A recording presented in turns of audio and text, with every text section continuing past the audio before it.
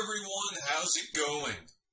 Today, I will be starting a new tutorial series that will teach you basics of the free open source DAW LMMS, or some may know it as Linux Multimedia Studio, which is available for Windows, Mac, and Linux. In just a few tutorials, even absolute beginners will be creating music like a pro. I'm going to provide an introduction to LMMS, where to download LMMS from, and a little bit about its interface. We will be observing the current version of LMMS, version 1.2.1. First, for those of you who are new to DAWs, which by the way, DAW is short for Digital Audio Workstation, a DAW is simply software for creating, editing, and producing audio. It's a recording studio digitized into a computer screen. Different DAWs have different features, but they are all alike in their purpose for audio production. LMMS is one of those DAWs, and it is a legally free, open source DAW.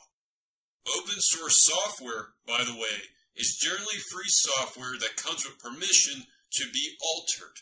LMMS has an entire community that works on improvements for its software. Let's discuss where to download LMMS from. I have provided the URL in the description below, and you can also view it here in the video in the browser address bar near the top. The site itself will automatically detect the best version for your system, but you can also manually select which version of LMMS you would like to download. Once you download LMMS, you will be prompted to install it, where you will follow the installation prompts to install LMMS on your system. After you install LMMS, go ahead and open it up. If this is your first time opening LMMS, you may be prompted to select Settings for LMMS. The default settings typically work for me, but if needed, you can make changes to your settings later. After accepting these settings, you will find yourself inside of LMMS. Your screen should look similar to mine. I may have an additional window open, and we will discuss how to open and close windows shortly. If this is your first time opening a DAW, you may feel overwhelmed, but don't, as I will break down the different parts of the screen to show you just how simple LMMS is. And in upcoming tutorials, we'll explore LMMS more in depth.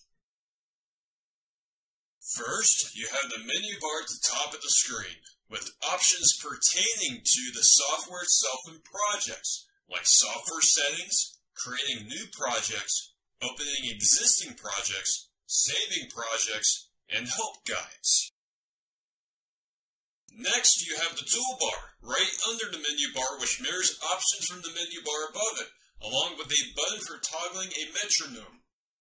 Top row focuses more on options for the project itself, like saving and opening projects, and the bottom row focuses more on options for toggling different windows. On the left side of the screen, we have the sidebar, which includes different plugins and sounds for creating projects, as well as your project files and a couple of other tabs for manually searching for files. Next, to the right of the toolbar, we have options pertaining to the structure of a project, including the time signature, tempo and beats per minute, master volume, master pitch, as well as the ability to view CPU usage, and an option to view a visualization of the audio taking place in a project. After that, we have the song editor.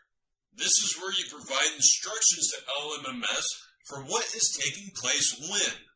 Here, you can create and edit compositions for different instruments, input where beats and bass lines are taking place, import external audio files, as well as provide other instructions for your project, like using an automation track to instruct LMMS to play an instrument quieter during a certain part of the song.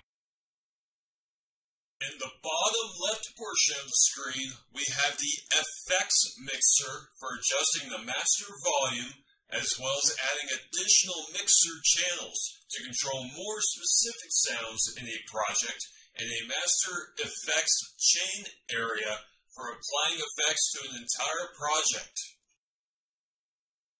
In the top right portion of the screen, we have the beat bassline editor for toggling sounds on and off in sync with the master tempo and time signature. Like the song editor, external audio files can be imported and automation tracks can be added. Finally, we have the controller rack window, which includes any sort of controllers that are being used in the project, whether they're being used for an entire project or an individual sound.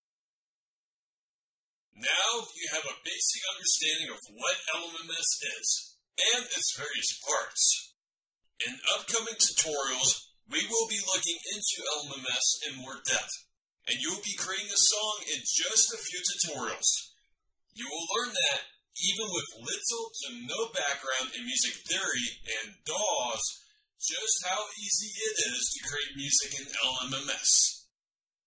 If you like this video, please hit that like button below and subscribe to my channel to stay updated. I look forward to teaching you more in the next video. God bless.